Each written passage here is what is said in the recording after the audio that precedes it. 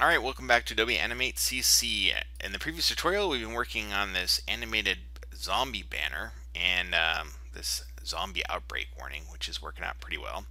Now, uh, it's working out okay, but what if I want to modify this? Well, there's some things I can adjust on the timeline here. For example, what if I want more frames? Can I do that? Well, yeah. I can come over here and anywhere in here, I'm thinking of probably going uh, twice as much, maybe around uh, 150 or 160. I might adjust this. So um, what I can do, let's see here. I'm going to zoom in and then scrub over. So this little guy here allows you to zoom in and out from the frames. And this little guy allows me to slide across. So what I want to do is actually double. So I'm at frame 80. and I want to go to at least, uh, you know, that would be like, what, 160 or so? Right around here.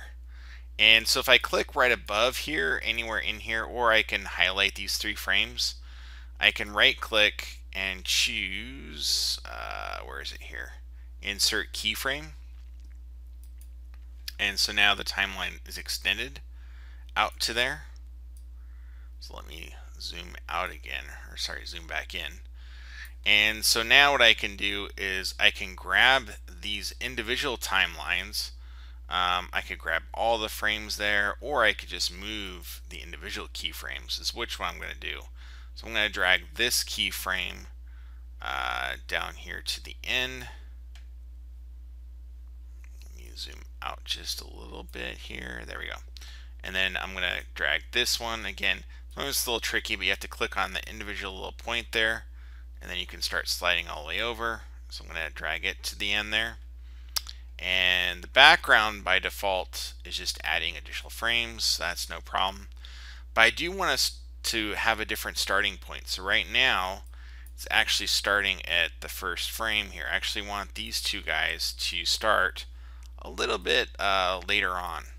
So what I'm going to do again is click on the individual frame here and drag it down to about, actually about 80 or so. And I'm going to do the same thing with this way. Just drag it down about there. So each of those now will start a little bit later.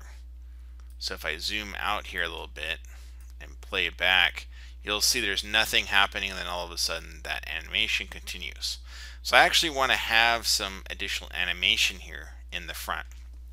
I'm going to bring in uh, three images, so I'm going to add a new layer for each one. And I'm going to rename these right now. So I'm just going to double click on them. I'm going to call this one uh, Z3, and then double click on this one, call it uh, Z4. Double click on this one and call it Z5. So these are for the zombies, zombie 3, zombie 4, zombie 5. I'm going to select this first one and choose the File Import command import to stage and I have these uh, PNGs here. So here you can see Z3 so I'm going to go ahead and click open and it's going to ask me since this is a sequence do I want to import all these images? So I'm going to say no because I want each one to be on its own layer. So then I'm going to turn off this layer click the next layer and choose that same option. So go to file import import to stage choose Z4 click open. It's going to ask me that same warning. I'm going to choose no so I just want the one image. Turn off that one, select the last one, go File, Import to Stage, and choose the fifth one. I won't get that warning because that's the last one of the sequence.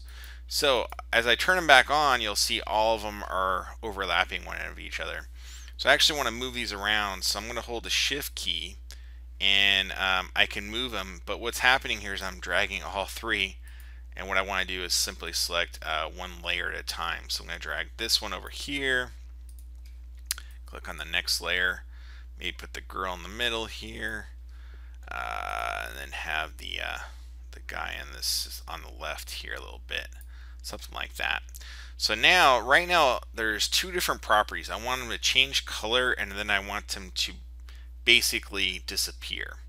So I have to essentially create uh, two separate keyframes for all of these. And uh, it all has to happen before you know this animation here arrives. So on this keyframe here, I essentially want them to disappear. So what I'm going to do is right here, hold down um, my arrow key in all three of these frames here, right click, and go down to uh, insert keyframe. So I have a keyframe there. That's when I want them to disappear. Now I want them to change color too at some point in here. So I'm thinking not quite halfway, but a little bit more. So I'm gonna I'm gonna test this out. I'm just gonna try a, a point, and I might change the positioning of it. But I'm gonna select all three of these keyframes just simply by dragging down, right click, and insert a keyframe. So I have these keyframes, but there's no animation happening yet. So what I want to do now is right click in each of these and go down to insert uh, create classic tween. So each of these I can do that. I can do one at a time or I can simply drag downwards and repeat, you know, create classic tween. Again, nothing is happening here. All we're doing is setting up the animation. We have to now change the states for each of these. I'm going to turn these two off so we do one at a time here so it's not confusing. We know we have three keyframes and we have two timeline sections for animation. Again, the first one I want to change the coloring and the second one I want to change the alpha. So uh, what I have to do for each of these is actually uh, basically make these guys into symbols. And it's very strange because I, I forgot to do that first. Uh, so I'm going to have to, let's see. It's saying it's a graphic. Uh, so it actually did that automatically. That's interesting. I, I forgot that it would do that, but it did change it to a graphic. So uh, Adobe Animate is smart enough to realize, hey, you want to do some modifications to this object here. Um, and so what we're going to do here is we're going to actually convert it to a symbol for you. So I'm going to click on the first keyframe of this and it says here graphic. Now I can make it into a movie clip if I want to add additional options, but graphics fine. And in here under color effect, I want to add a, um, a tint, basically. I want it to change color. So this color tint, I'm going to choose uh, this sort of weird sort of yellow here. Uh, and so as it moves along here, it's going to change the black because this previous keyframe was black, which is pretty cool. So uh, now what I want to change at this point is I want to change the alpha uh, property. So again, I have to select the individual keyframe here, uh, click on the object, and in here I'm going to change to alpha. And I want this to be 100%. And at the next keyframe, which is right here, make sure it's selected, click on the object. Sometimes you have to remember to click on it. Go back to alpha, and here I'll drop it to zero. So now you can see that fade happening and until you get something else to happen.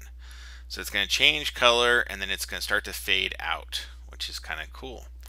So I'm going to do that with each of these. So I'm going to turn this one off, turn that one on, and basically repeat the same process. So make sure I have the first keyframe selected, click on the object, in the properties here, switch to tint.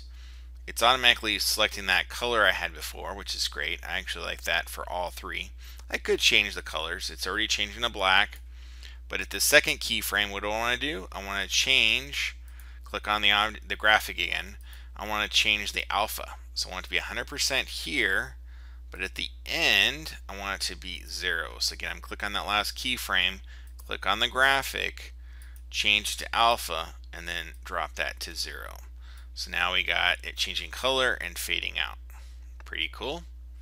Last one, let's turn that one on and repeat that same process. I'm going to click on that first keyframe here, click on the graphic. Uh, I'm going to change it to tint, and again it remembers the last color. That's going to change it from that crazy color to the black. And then from here, I'm going to change the alpha. So again, I'm going to select it, click in here, change to alpha, and then uh, I want it to be 100% at this point, and then move it along here, and at this point I want it to be zero. So again, select the, the graphic, switch to alpha, drop that to zero. So now I've got, if I turn these all three on, it's going to look a little strange, but I have all three here where they all change color and they all fade, which is kind of interesting. So uh, that's basically where we're going to end it for this tutorial. In the next tutorial, we'll add some finessing and distribute these as sort of a warning symbol and sort of complete the, uh, or get close, possibly get close to completing the effect of the zombie outbreak warning banner. Uh, so see you soon. Until next time in Adobe Animate CC. Cheers.